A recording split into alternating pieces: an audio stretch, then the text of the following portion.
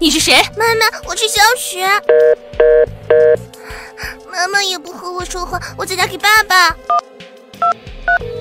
爸爸，我是小雪，快带我回童话王国吧！别想忽悠我，小雪就在我身边。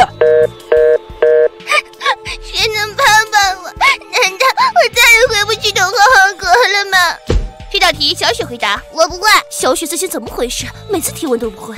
她以前不是这样啊。她不是熊妹吗？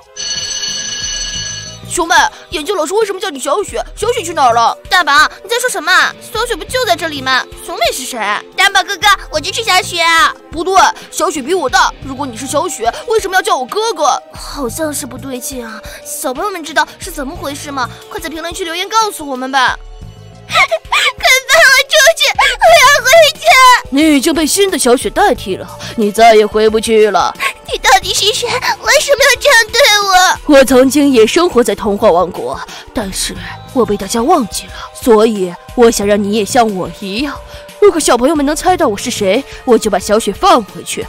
小精灵，你还记得小雪和熊妹吗？这不就是小雪吗？熊妹是谁？糟糕，连小精灵也不记得小雪和熊妹到底是谁了。大宝，说我就是小雪，你还不相信吗？对啊，大宝，应该是你记错了吧？小雪叫你哥哥，也只是叫错了一下而已。小朋友们也觉得是我记错了吗？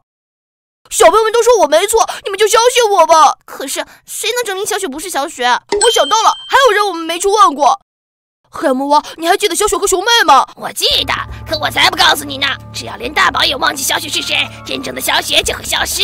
我不知道熊妹是谁，不过小雪不就在你旁边吗？好吧，童话王国所有人都这么说，看来真的是我记错了。小雪姐姐和熊妹怎么了？我好久没看到小雪姐姐了。黑暗可可，别说了。黑暗可可，你还记得小雪和熊妹？黑暗魔王，你一定也记得。你刚才是在骗我。嗯呀，我就是刚才没想起来，我现在想起来了。你旁边的是熊妹。原来我真的不是小雪啊！那真正的小雪去哪儿了？被我带走了！你是谁？快把小雪还给我们！我就是小雪，以前小朋友们也很喜欢我，可是现在我被大家忘记了。我想起来了，我们童话王国以前还有两个叫小雪，你是哪一个？我是戴雪花发夹的小雪，只要你们能说对我带了几个雪花发夹，我就把小雪还给你们。我记得是一个雪花，不对，我记得是两个，我也记得是一个。小朋友们知道是几个吗？快在评论区留言告诉我们吧。嘿嘿，我知道是两个。这次小朋友可千万别告诉大宝他们。